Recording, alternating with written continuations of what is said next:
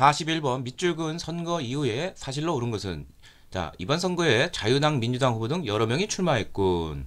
자 여당은 어, 현 대통령의 3선을 그리고 야당은 정권 교체를 주장하고 있다. 자 그렇다면 자 우리나라 초대 선거가 1948년이었고요. 그 다음에 여기서 이제 국회에서 간선으로 뽑았었는데 예, 발췌 개헌을 통해서 1952년 대선에서 국민 어, 이 직접 선거로 뽑게 되었죠. 그럼 두 번을 했죠. 자, 그렇다면 이것은 1956년에 3대 대선이 예, 되겠습니다.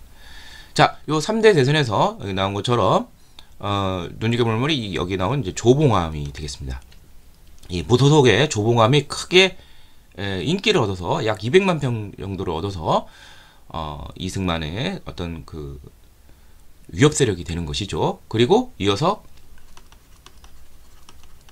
진보당을 어, 설립하게 됩니다. 이걸 가만 놔둘 리가 없겠죠. 자, 그래서 어, 바로 어, 이 조, 진보당을 이제 어, 개입을 해서 국가가 해산시키고 조보방을 간첩 혐의로 전격 어, 처형하게 되었습니다. 그 이유가 바로 여기 나온 것처럼 평화통일론을 내세웠다는 것이죠. 예.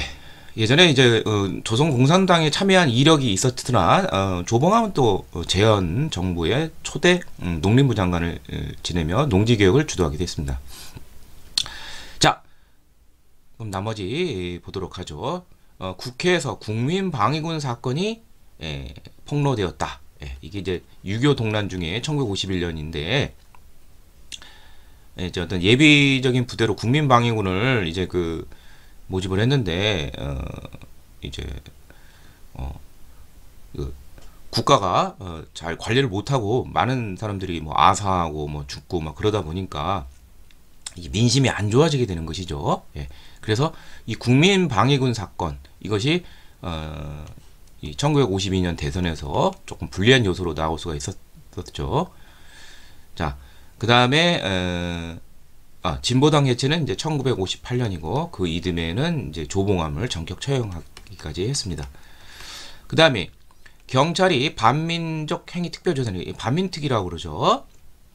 이것을 습격한 사건은 1949년 이제 66 사태라고 그러죠. 예. 어, 그 다음에 조선건국준비위원회 지부가 인민위원회로 어, 약간 더 어, 사회주의적인 성격으로 바뀌게 된 것이죠. 자, 이거는 미군이 집권하기 전에 정부의 모습을 보여주겠다 하면서 인민공화국을 선포하고 어, 그 다음에 건준이를 이제 인민위원회로 개편을 했었죠. 이게 1945년 어, 이제 그 조선 인민공화국을 선포한 것이 이제 9월 6일이죠. 어, 뭐 요쯤이 되겠고요. 초대 대통령에 한해 중임 제한을 에, 폐지하는 개헌안 이게 이른바 아, 4452 개헌이죠. 에, 이 개헌이 통과된 다음에 이제 1956년에 이 대선이 있게 된 것이죠. 정답은 2번이 되겠습니다. 42번 밑줄근 집회가 열린 시기를 연필로 것은 이 사진은 남북 협상을 외도, 어, 요구하는 집회장입니다. 당시 대학생들은 판문점에서 만나자는 구호를 치며 협상을 통한 자주적 통일을 주장하였으나 정부는 남북 청송의 평화 통일 정책을 제시했습니다.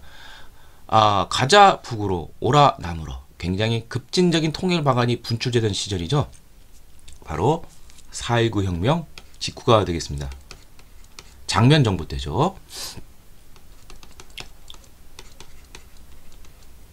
그래서 어, 5.16 혁명 군사 어, 박정희 군부가 들, 들어오기 전까지 예, 이런 혼란상이 많이 있었습니다. 하도 데모가 많아서 데모하지 말자는 데모까지 나오기도 했었죠. 그래서 어, 정답은 3번이 되겠고요. 장면 정부 시절 이런 급진적 통일 음, 이런 요구가 아, 분출했다. 이렇게 이해하시면 되겠습니다. 43번 다음 명령을 실행한 정부의 경제정책 이렇게 되는데 자 이것은 경제 관련 긴급 명령이라고 되어 있어요. 어 긴급 명령 그러니까 김영삼 정부의 어, 금융실명제 생각이 쉬운데 탁 봐도 이게 사진이 흑백이에요. 90년대 이후는 이런 사진 안 나오죠. 그렇다면은 이건 거의 뭐 이승만 박정희 정권 뭐 이때라고 보면 되고 자 가장 핵심이 되는 것은 경부고속도로 개통 이게 1970년에 개통이 됐죠. 바로 박정희 정부가 되겠고요. 박정희 정부가 사체 동결을 시켰죠. 예. 하여튼 아, 박정희 정부의 경제 정책을 찾으라 이것이죠. 어, 박정희 정부는 어, 경제개발 5개년 계획을 세우고 집중적으로 관리 감독을 하면서 목표를 달성했습니다. 그래서 박정희 정부 시절 에, 1차, 2차, 3차, 4차 이렇게 돼 있는데 이게 70년 이후니까 이제 이게 1차가 1962년, 2차가 1967년, 1972년, 어, 4차가 1977년이 되겠죠. 예. 그래서 3차 해당이 되겠네요. 자, 나머지 보도록 하죠. 미국과 자유무역 협정을 체결하였다. 이거는 예, 노무현 정부 때 예, 있었던 일이고요. 귀속재산, 일자가 남기고 난 재산 처리를 위해서 신한공사를 설립을 했다. 이거는 이제 1946년 2월 미 군정기 때 있었던 일이고요. 최저임금을 결정을 위한 최저임금 위원회를 어, 설치하였다. 저도 이건 뭐 정확하게 잘 모르겠네요. 근데 어, 이런 그 서민 노동자를 위한 뭐 이런 쪽 어, 의료 뭐 건강보험 뭐 국민연금 등등등등 이런 쪽과 관련된 것들은 거의 잘 모르면 김대중 정부가 이런 거를 많이 신경을 썼다. 그렇지 않을까 생각을 해봅니다. 금융실명제 이건 뭐 김영삼 정부죠. 1993년. 예, 정답은 1번이 되겠습니다. 44번 가민주화 운동에 대한 설명으로 옳은 것은 박종철 곰배 조작 발표 장소 민주헌법 쟁취 6월 10일 국민대 6월 10일 바로 6월 민주항쟁이 되겠습니다. 1987년에 있었죠. 자, 6월 민주항쟁은 어, 전두환 정부 50헌법이 대통령 간선제죠. 어, 그래서 어, 국민이 직접 뽑으려는 이 요구가 1987년 들어서 이제 분출하게 되는데 그 계기가 되는 집회 시위가 열리게 된 거. 바로 이 박종철 고문 어, 은폐 조작 사건. 예. 이게 이제 1월에 있었는데 어, 이게 이제 드러나면서 당시 전전 정권의 비도덕성이 이제 나타났고요. 여기에 불을 지른 것이 4.13 호헌 조치. 어, 전두환 정부가 현행 대통령 감선제를 고소하겠다. 그랬더니 6월에 이렇게 국민들이 이제 시위에 나서게 된 것이죠. 자, 그래서 정답은 바로 5번이 되겠는데 호헌 철폐, 대통령 간선제 철폐하고 독재 타도라는 시위가 확산이 되고 최종적으로는 결국 6.29 민주화 선언을 통해서 대통령 직선제 헌법 개헌이 쟁취가 되었습니다. 자, 나머지 보도록 신문구의 귀상계엄 확대가 원인이 되어 일어났고 관련 기록물이 유네스코 세계 기록유산에 등재된 것은 5.18 광주 민주화운동이죠. 1980년. 음, 그 다음에 3.15 부정선거. 이거는 4.19.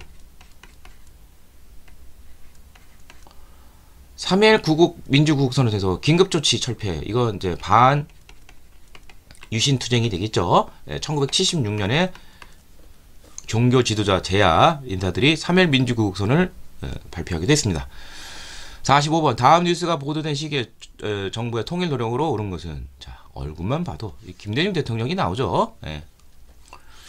여기 보면 경의선 복원사업 어, 바로 6.15 공동선언의 후속 조치죠. 2000년 자 그래서 정답은 바로 3번이 되겠죠. 어, 역사상 최초로 음, 6월 13일 날 2000년 남북 정상회담을 평양에서 개최하고 6.15 남북 공동선언을 쟁취하게 되었죠. 그 후속 조치에 바로 이 경의선 복원, 뭐 개성공단 건설, 이산가족 상봉 등등등이 있게 되었습니다. 민족 자본과 통일 번영을 위한 77 선언, 북한과 적극적으로 교류하겠다.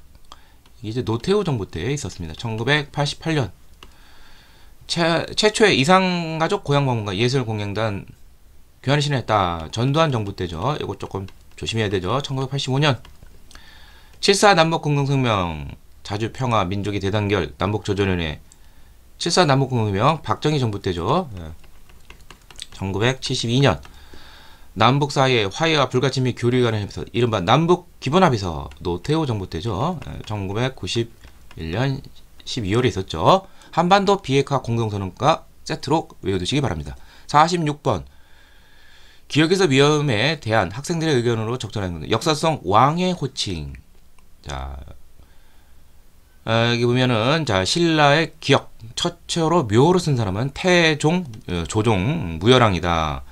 자 백제를 660년 멸망시키고 통일 기초를 마련했죠. 음, 그래서 태종 무열왕은 654년에서 661년까지 재위를 했기 때문에 백제 멸망까지는 맞죠. 그 다음에 고려 시대는 태조 왕건이죠. 예. 태조 왕건 918년에서 943년까지 재위를 했는데 고려 건국의 위협 맞죠? 그 다음에 정조 1776년에서 1800년까지 재위를 했고 탕평책 등 여러 계획으로 송체제를 정비했다. 그렇죠. 영조만 탕평책을 한 것이 아니라 영조는 어, 타협적인 성격의 완론 탕평이라면 정조는 줄론 탕평에서 각 붕당은 자기 색깔을 분명히 내라고 요구를 했죠. 맞죠? 그 다음에 충렬왕처럼 이 충자 들어가는 원 간섭계 왕들은 예, 이제 조종의 예, 묘가 아니라 이제 왕으로 격화됐죠. 이 당시 예, 원의 공주와 결혼하는 부마가 된 것이죠 사위. 자 정답은 그러면 5번이 되겠는데 광해군은 중종 반정으로 폐위된 것이 아니라 인조 반정이죠. 중종 반정으로 폐위된 것은 연산군이 되겠습니다. 정답은 5번이 되겠습니다. 47번 가신문에 대한 설명으로 그런 것은 나는 방어병관 김윤호입니다. 대몽골 항쟁의 에, 가장 유명한 사람이죠. 어, 몽골군의 침입이 와서 충주 상상을 방어할 때 이때 노비들의 문서를 태우면서 사기를 높였죠. 예, 적극적으로 쏴라. 아, 궁극기무처 김홍지 신문차별 폐지된 요구를 수용하여 가보개혁에서 노비 산업이 공산노비를 다 모두 혁파했죠. 노비에 대한 설명이 되겠습니다. 자, 신라에서 승진에 제한을 받으며 등난이라고 불렸던 것은 육두품이 되겠습니다. 어, 6등급까지 밖에 못 오르죠. 예. 아창까지 밖에. 고려시대 향 부곡소에 거주하였으며 어, 이건 이제 특별행정구역에 되면서 자, 이 사람들은 이제 일종의 그 뭐 신량역천이라고 볼 수가 있어요. 즉 신부는 양이지만 차별을 받는 것이죠. 천하의 대주를 받는 것이죠. 일반 군연에 비해서 어, 차별을 받는 것입니다. 그러니까 노비는 아니에요. 그러니까 거기에 묶여 살라는 곳이고 과도한 어, 조세 공물 수답에 시달렸죠. 그리고 어, 과거 시험 응시 교육에 응시였던 기회가 없었죠. 조선시대 때 봉수 역졸의 업무 역시 이거 힘든 일이에요. 이건 조선시대의 신량 역천에 해당한다고 볼 수가 있겠습니다.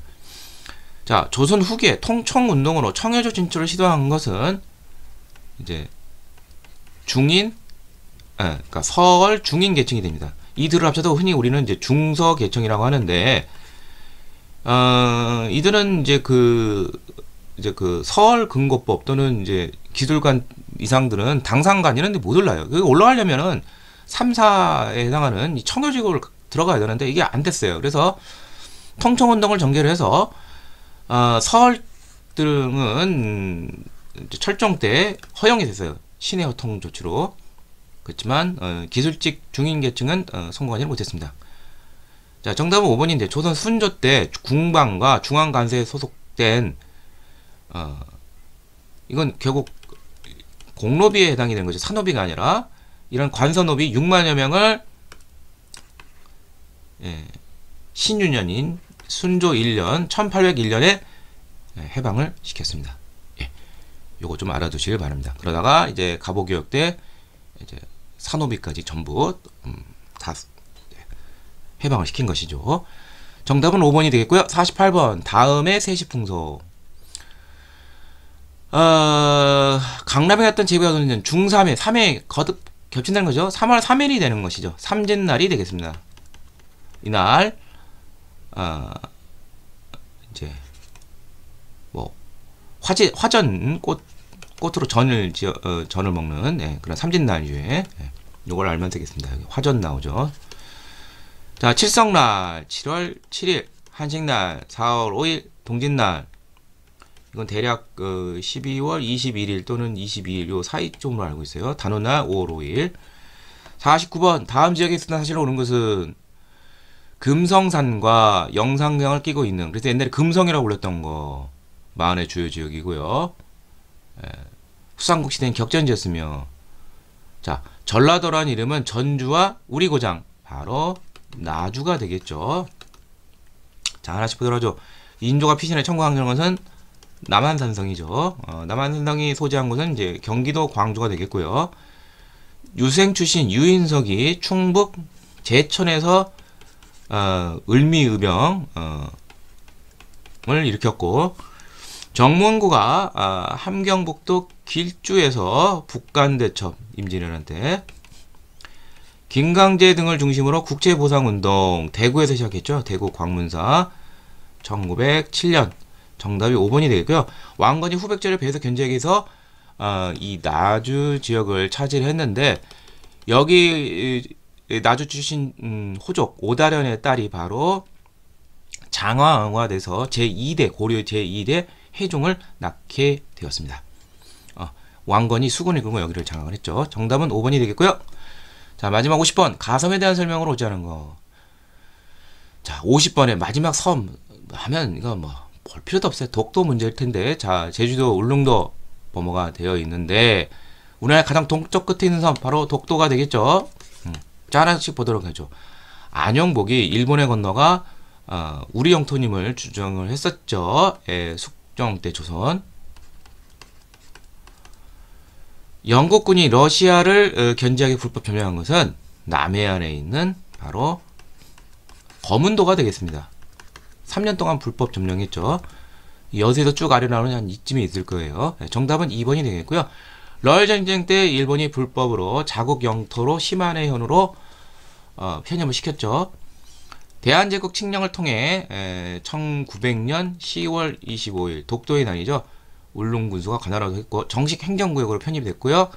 1877년 일본 태정관 문서에 일본과는 무관한 지역. 어, 그래서 독도가 우리 땅임을 보여주는 그러한 증거 중 하나가 된 것이죠. 정답은 2번이 되겠습니다. 자, 이성을 통해서 제58회 한국사 능력 감정 시험 심화편 해설을 모두 마치도록 하겠습니다.